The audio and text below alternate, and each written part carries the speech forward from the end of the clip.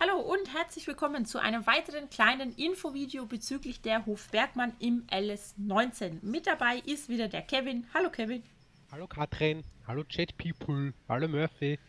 Hallo Peaches. Ich wollte gerade sagen, vergiss ja die nicht. Ja, nein, nein. Gut. Ja, wie versprochen, hier kleine Zusammenfassung vom letzten Livestream bezüglich der letzten Neuerungen und Änderungen auf der Hof Bergmann in der Version 1.004. Aber bevor wir anfangen, die allerwichtigsten Fragen zuerst. Es sind mittlerweile schon vier Stück, jawohl. Ja, mhm. Frage Nummer 1. Wann wird die Version veröffentlicht? Wann sie fertig ist. Genau. Wir können euch da wirklich nichts anderes sagen. Wir haben keine Ahnung. Es ist nach wie vor so, dass es einfach keinen Sinn macht, irgendwie äh, ein ungefähres Datum zu sagen, weil wir zum einen nicht wissen, was Andi jetzt so spontan einbauen will, zum anderen wissen wir nicht, was sich oder was Andi an den bestehenden Sachen jetzt nochmal ändert. Von daher müsst ihr halt einfach weiterhin Geduld haben. Wir halten euch ja mit kleinen Infovideos und den Livestreams auf dem Laufenden, soweit es uns möglich ist. So, brauchen wir einen neuen Spielstand? Ja. Jawohl. unbedingt. Ja, ist zwingend erforderlich, da ohne Diskussion. So, Frage Nummer drei. Wird diese Version dann Seasons-kompatibel sein? Ja, wird sie. Genau, so weit als möglich natürlich. Ja. Und die äh, Frage Nummer vier, ist die Karte dann mit dem Global Company Script kompatibel? ja, sollte sie. Ja, sie nutzt das Skript ja jetzt schon selber. Ganz genau. Daher braucht man das Skript auch dann. Jawohl. Ja, also wie gesagt, bei ein paar Produktionen ist das Skript ja schon verbaut, wird also dann definitiv äh, auf der Version 1.004 laufen. Ja. So, nachdem Genau. wir das abgearbeitet haben, würde ich sagen, kommen wir zu den Neuerungen. Ihr seht, wir sind hier ja inmitten von Obstbäumen. Ja, Ist eine von den Neuigkeiten. Wir haben jetzt Äpfel und Birne dazu bekommen und zwar in Form einer Obstbaumwiese. Man muss dazu sagen, diese Bäume tragen nur nachdem es geregnet hat, also vorher nicht und ihr müsst das Land natürlich besitzen. ja, Die Obstbaumwiese gehört mit zu diesem Stück hier. Das ist also so der Schaf- und Ziegenstall. Das ist hier der Auslauf von den Tieren und hier dran schließt sich diese Obstbaumwiese eben an. Wenn ihr versucht, Obst zu klauen, da kann ich euch schon gleich sagen, den Weg könnt ihr euch sparen, weil wenn ihr das Gelände nicht besitzt, dann tauchen auch keine Früchte an den Bäumen auf, wenn es geregnet hat. Ja, dann, ja. So, bei uns hat es geregnet, beziehungsweise wir haben es regnen lassen, weil es regnet ja im LS19 doch schon sehr selten. Ja, das ist leider so ein Problem, ja. Mhm. So, Ja, ihr seht, ja, ein bisschen äh, haben wir schon gesammelt. Das wären jetzt zwei Äpfelkisten. Bisher war es so, dass wir von einem vollen Baum zwei Kisten runtergebracht haben. Ja. Dann ist der Baum leer. So, da sind Birnen. Jetzt zeige ich euch das einfach mal an. Oh, oh Gott, ich hänge fest. Äh, wo gehen wir denn hin? Da. Nee, da waren wir schon. Den Bierbaum haben wir auch schon abgeräumt. Gehen wir Ja, einfach genau. mal dahin. So, Ernten funktioniert folgendermaßen. Die Kiste kriegt ihr im Shop. Ich zeige euch auch gleich wo. Mit der Kiste einfach an den Baum dranlaufen und ihr seht schon im Hilfefenster mit Taste R Befüllung starten. Genau. Und im Multiplayer sei darauf hingewiesen, bitte, dass das immer nur ein Spieler pro Baum macht. Genau. Sonst äh, schaltet ihr das für den anderen Spieler ab. Das ist nicht so schön dann.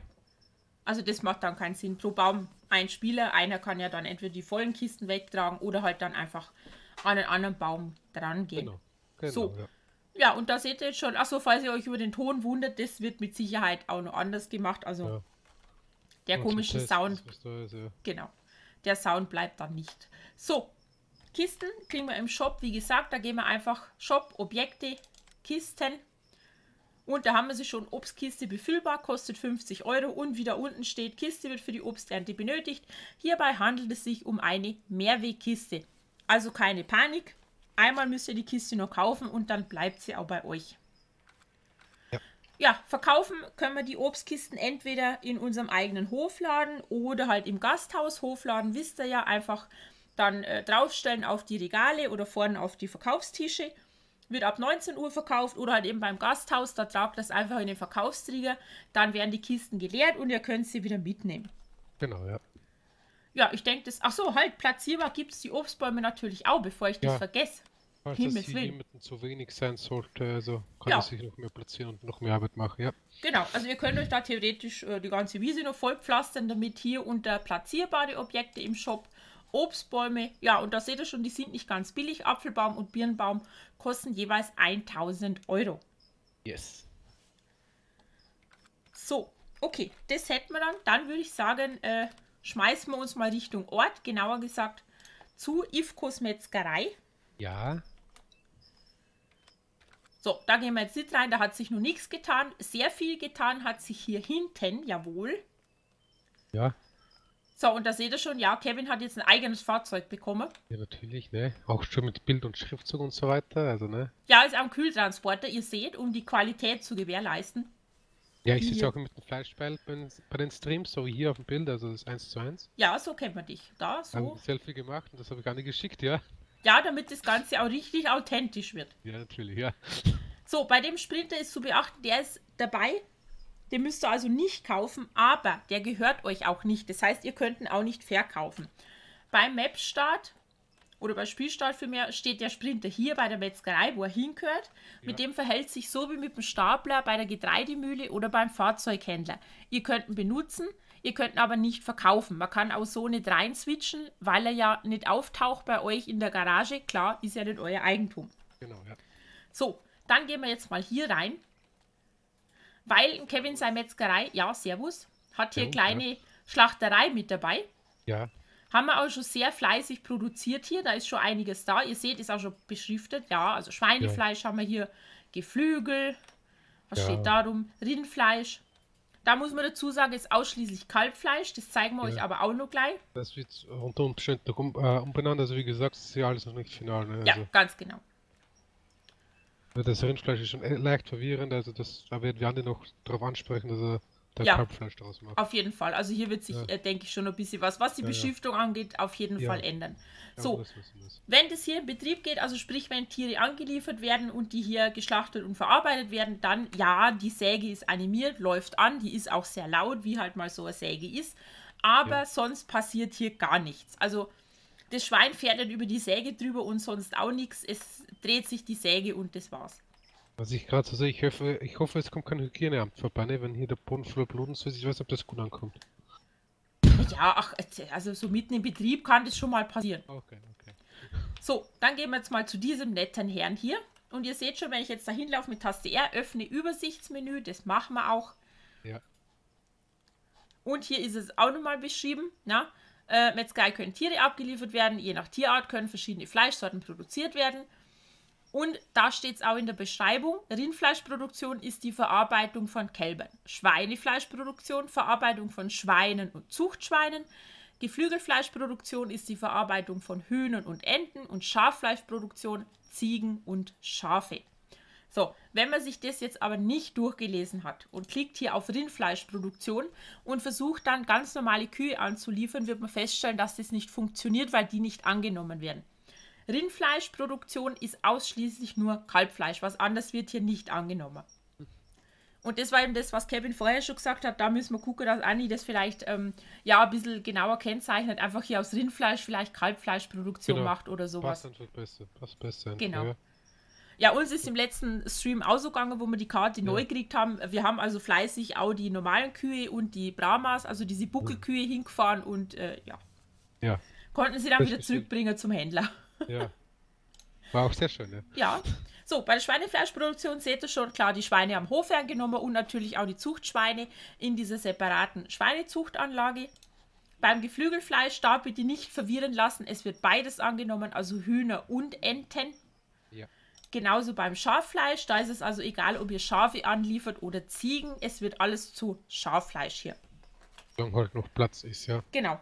So, und bei uns ist es jetzt so, da ist zum Teil, wenn es rot ist und hier ist die Produktion deaktiviert, dann aus diesem Grund, weil hier der Platz einfach voll ist. Ja, da müssen wir jetzt hingehen. Wenn Katrin eine Kiste nimmt, wird die Säge gleich wieder anlaufen. Ja, Uh. da ist sie schon, die Säge. So, Warte, ich äh, tue die jetzt einfach mal sehr hygienisch, schmeiße ich das Schaffleisch ah, einfach in den Hof. Sehr schön. So, und da seht ihr schon, Säge ist an. Das heißt, hier wird jetzt weitergearbeitet. Ja, da geht es auch schon los. Da wird schon wieder fleißig Schaffleisch produziert. Da muss man natürlich dahinter sein, gell? Oh! Mein Gott, Entschuldigung, Kevin, ich. Äh, Ah, ja, macht nichts. Ah. Ne? ist was passiert? Ah. Mei, das wäre mir jetzt arg. Ach nee, alles gut. ja, wie gesagt, da muss man ein bisschen dahinter sein bei der Produktion, wenn man es so macht, äh, wie es wir gemacht haben. Wir haben einfach mal zum Testen alle Tiersorten hier angeliefert und haben das voll gemacht. Also da wird schon ganz gut Fleisch produziert. Da müsst ihr dann schon dabei bleiben und dahinter sein, weil äh, ihr habt ja gesehen, die Produktion stoppt halt dann. Ja. ja wenn voll, dann voll. So, und die schmeißt man hier. Ich meine, ihr könnt die Kisten natürlich rumfahren, womit ihr möchtet, gell? Das ist Ja. ganz euch überlassen. Die wird auch nicht gammelig oder irgendwas. Also Nee, Da klar. passiert gar nichts. Die könnt ihr auch lagern äh, bis Ultimo und es trotzdem als frisch verkaufen. Weil da sind sie auch nicht gekühlt und sie da am Tisch liegen, dann werden sie auch gesteckt. Das ist von Eben, eben. Ja, verkauft werden sie, da braucht man eigentlich bloß immer gucken in der Preisübersicht. Fleischprodukte nur beim Hofladen. So, da sehen wir es ja. Also Kalbfleisch in dem Fall, Schwein, Geflügel und Schaf, Schrägstrich, Ziege und da seht ihr eben nur beim Hofladen. Da können wir mal kurz reingehen, weil da hat Andi ja einen zusätzlichen Tisch mit hingestellt. Ja. Ja. Mal schnell zum Hof springen. Da gibt es nämlich äh, noch zwei weitere Sachen, die wir euch gern zeigen würden, die auch neu sind. Aber jetzt rennen wir erstmal schnell in den Hofladen rein. So, da sind zwei weitere Verkaufstische dazukommen. Klar, ich meine, es sind jetzt mehr Produkte, da braucht man natürlich auch mehr Platz, aber es gilt Ja. auch hier, ist es völlig wurscht, wo ihr jetzt das Fleisch hinstellt oder wo ihr die Obstkisten hinstellt, das spielt keine Rolle. Das könnt ihr also machen, wie ihr lustig seid, solange es innerhalb von den Triggern ist, wird es auch verkauft. So wie die Markierungen sind, da könnt ihr es auch Boden hinstellen Genau. einfach. Was, ja, ne? Also da könnt ihr es auch stapeln bis an Decke, wie ihr möchtet. ja, ja, ja. So, dann haben wir hier diesen blauen Behälter. Der ist auch neu. Das ist ein Wassertank. Wird automatisch befüllt, wenn es regnet. Zu finden im Shop hier unter diverses. So, Regenwassertank und da steht es auch nochmal. Dieser Tank dient zum Sammeln von Regenwasser. Befüllung erfolgt automatisch bei Regen. Das Wasser kann mit einem Tankanhänger entnommen werden ist einfach ein kleiner Zusatz, wenn ihr Wasser sammeln möchtet und möchtet euch jetzt nicht irgendwie ähm, bei der Schweinezucht zum Beispiel oben äh, irgendwie so ein Bescheißerchen Silo hinstellen oder keine Ahnung, so ein Ackerschacht, wo man Wasser rausnehmen kann, dann kann man das hinstellen. Macht das Ganze natürlich auch ein bisschen realistischer, so als ja, äh, Zusatzwassertank im Prinzip. Zusätzlicher Ja. Wasserspeicher. Genau, ja. Von oben sieht man dann auch, ob was drin ist oder nicht. Also, Genau, bei uns müsste eigentlich theoretisch noch was drin sein. Der sollte voll sein. Ja. Ja, So, so sieht das Ganze aus, wenn es geregnet hat. Da ist er natürlich voll. So, und dann Genau, können wir ja. hier gleich weiterlaufen. Das wäre nämlich das nächste. Das ist ja hier die Garage, die man kaufen muss, also dieser ja, Zusatzparkplatz im Prinzip. Ja. Und dann haben wir hier jetzt nochmal eine Scheune dazu bekommen. Bombschöne Scheune. Ja, sehr schön und sehr groß vor allem auch. Ja, Da könnt ihr also alles Mögliche reinstellen. Wenn ihr euch daran erinnert, wir haben ja auch bei der 1004 Düngerproduktionen dazu bekommen. Ich kann euch die nochmal schnell im Shop zeigen. Ist ja alles platzierbar, hier unter Produktionsgeräte. ja. Ja, Kompostmaster dazu, das könnte man alles im Prinzip auch hier unterbringen. Wenn man gar nicht weiß, wohin damit. Oder halt eben größere Maschinen, LKW, Schneidwerk vom, vom Mähdrescher und so weiter. So wie ich Ballen lagern möchte oder Paletten oder was auch immer, ne? Ja. Ist egal, ne? Ganz genau. Und soweit ich weiß, muss man das nicht kaufen hier. Jetzt lasst mich nur mal gucken. Nein, haben wir nicht gekauft. Das könnt ihr also so benutzen. Ja. Genau. So als, ja, liegt natürlich auch drin, ganz klar. Ähm, so als Ja. Zusatzunterstand. So, und dann äh, gehen wir hoch. Das haben sich ja sehr viele gewünscht. Da werden sich wahrscheinlich auch sehr, sehr viel freuen drüber. Gehen wir mal hoch zu die, zum Gemüseanbau. So. Ja, was klar. Ah, ja. So, ich glaube, auf So. den ersten Blick äh, noch nicht ganz so spektakulär, aber Okay. Andi hat die komplett umgebaut. Ja, wir haben wieder Kisten und da seht ihr schon, da haben wir hier äh, ja, äh, verschiedene Sorten an Kisten. Ja, das, da muss man auch aufpassen, was man da in der Hand hat dann, ja. Ja, weil wir haben drei verschiedene Sorten an Gemüse und zwar haben wir einmal Salat, Tomaten und rote Paprika. Wobei ja, wenn man jetzt ganz pingelig ist, gell, ist ja Tomate eigentlich kein Gemüse, aber ist ja egal. Ja, mein. Ja, ist ne? es, ja, sag's. Ich wollte es ja nur mal, äh, ist, ist, äh, ja. Spielt keine Rolle. Ja. so, im Shop, ihr habt es gesehen, unter Objekte und Kisten haben wir hier zum einen eine Gemüsekiste und einen Gemüsekarton. Und wenn ich jetzt auf diese Gemüsekiste klicke, dann haben wir hier die Möglichkeit zu sagen, soll da Salat rein oder sollen Tomaten bzw. Paprika rein. Genau. Wir haben es jetzt so gemacht zum Testen. Wir haben uns halt die Kisten für Salat haben wir grün gefärbt und die für Tomaten und Paprika rot, dass wir auch wissen, was wo reinkommt. Wie ihr euch die Kisten färbt, ist egal. Ihr seht, wir haben hier die komplette Farbpalette zur Auswahl. Ja, genau. Und auch hier natürlich wieder, es steht ja immer dabei, es sind Mehrwegkisten. Genauso Mehrwegkarton wird also auch nicht verkauft. Da braucht ihr keine Angst haben, dass dann jedes Mal der Karton verschwindet und euch da äh, 10 Euro vom Gewinn flöten gehe. Alles Mehrweg. Genau. So, ja, und hier beim Karton natürlich äh, nichts einzustellen, der ist einfach nur hübsch bedruckt und was reinkommt, das steht ja hier. In den Karton kommt also kein Salat, sondern nur Tomaten oder rote Paprika. So. Das sieht man beim Karton auch da auf der Seite, ist genau. auch ja. abgebildet. Ne? Fresh Vegetables. Ja, das klingt äh, lecker irgendwie. Ja, ich weiß nicht. Ich bin nicht? Fleisch. Fleisch. Ja, okay. Fleisch ist dein Gemüse. Ja. So, jetzt gehen wir einfach mal rein. Achso, befüllt werden die Gewächshäuser, muss ich ja vielleicht vorher nur zeigen. Natürlich hinten, entweder mit Kompost oder Mist, wird beides angenommen hier. Und es muss natürlich hier Wasser in der Tank, ganz klar. Genau. Also Beim 5000 Liter Mist oder Kompost und 1000 Liter Wasser. So. Genau. Beim und, Salat äh, kommen noch die Setzlingspaletten dazu. Die brauchen wir bei den Tomaten und bei den Paprika nicht. Genau. So, Setzlingspaletten, da hätten wir hier jetzt schon mal eine Palette, sind 200 Stück, die reichen für ein Gewächshaus. Genau. Also wenn ein Gewächs leer ist, ist die Palette dann weg, wenn man es füllt. Genau.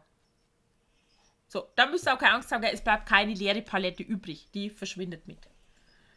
Ja, und da haben wir sie, Setzlingspalette, Salat kostet hier 200 Euro.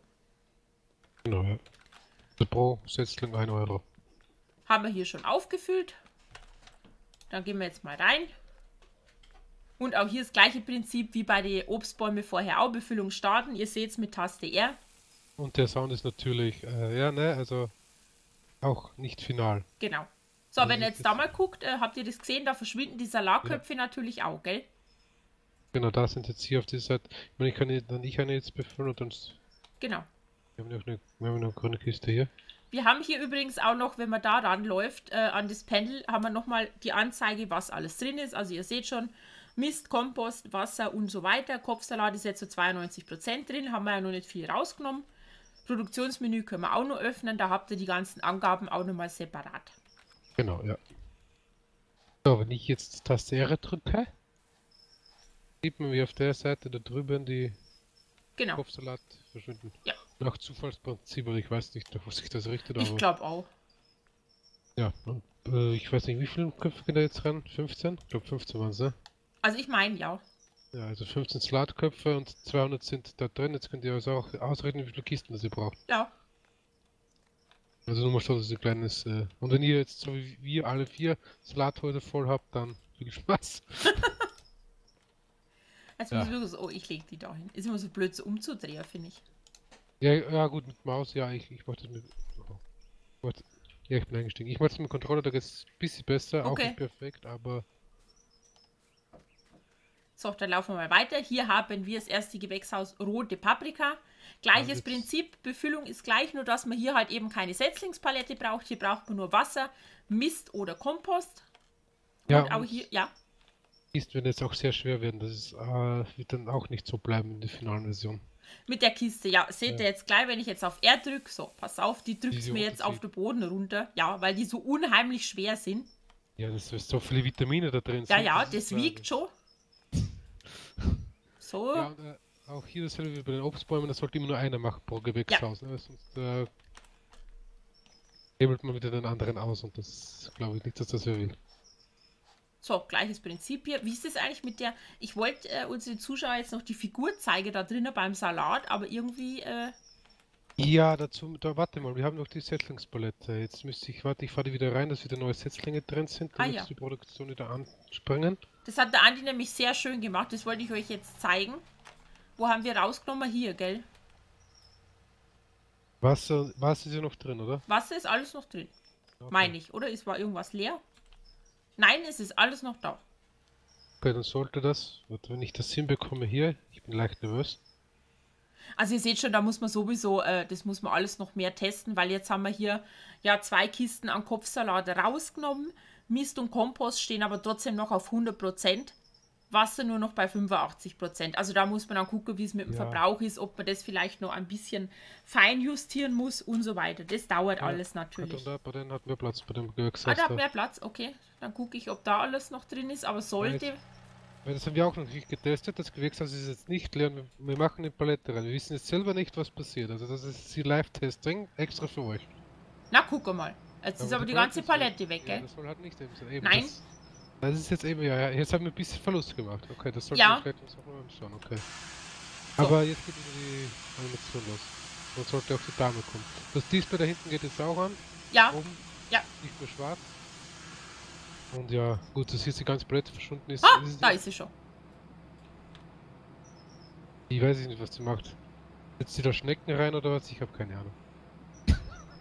Ich weiß nicht, vielleicht äh, streichelt sie der Salatkopf und redet ihm gut zu.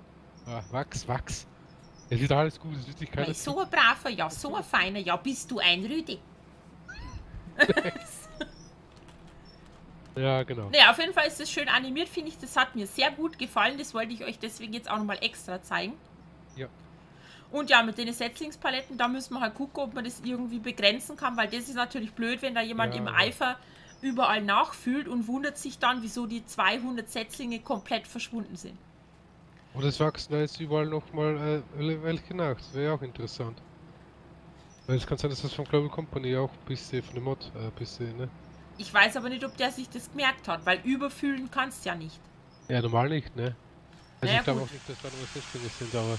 Ja, also wie ihr seht, das sind eben alles nur so ja. Sachen, wo man ein bisschen äh, drüber hirnen muss, ob man das jetzt nicht anders machen kann, weil schöner wäre natürlich auch für euch später dann eine Teilentnahme von den Setzlingspaletten und nicht, dass ja, jetzt da, ja.